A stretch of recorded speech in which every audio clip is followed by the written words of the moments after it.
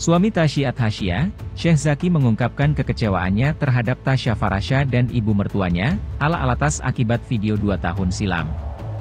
Dari potongan video tersebut, banyak komentar yang ditujukan kepada Tashi Athasya. Netizen berpendapat bahwa Tashi Athasya suka memotong pembicaraan orang. Tak hanya itu saja, Tasya Farasha dan Mama ala sapaan akrab ala alatas beberapa kali melontarkan kata-kata kepada Tashi.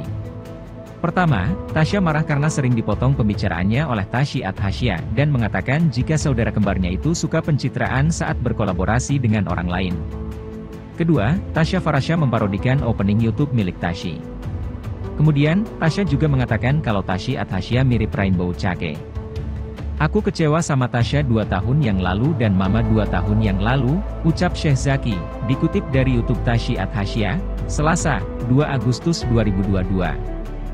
Syekh Zaki merasa ucapan yang dilontarkan Mama Ala dan Tasya terhadap sang istri tidak seharusnya dijadikan konten di media sosial.